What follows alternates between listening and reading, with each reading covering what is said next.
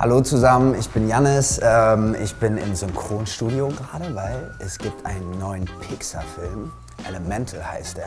Und ich darf einen der Charaktere sprechen, nämlich Wade, einen Wassertypen. Es geht darum, dass Wasser und Feuer sich ineinander verlieben. Und Feuer wird gesprochen von Emilia Schüle. Hallo, ich bin Emilia Schüle. Und jetzt gleich treffe ich auf den Jannis. Da ist er. Oberpünktlich, wa? Wir lesen jetzt, oder?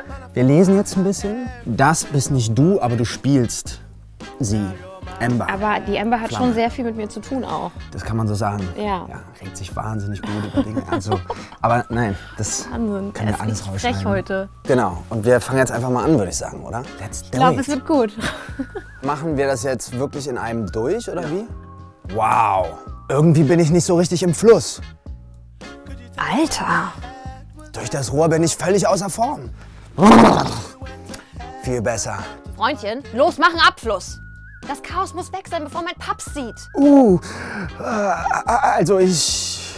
Äh, ich muss dir leider einen Strafzettel ausstellen. Mein Vater hat es wieder aufgebaut. Dein Vater war das? Ja, mit seinen bloßen Händen. Er hat das alles selber gemacht.